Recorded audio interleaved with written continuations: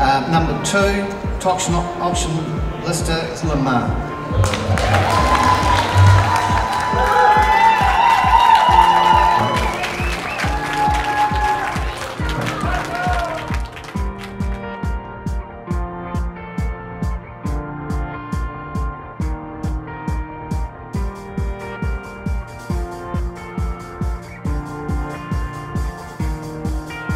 Probably one of the classiest ladies in the business. She's got a handbag for every day of the week and every outfit. Come on up, Lin Ma.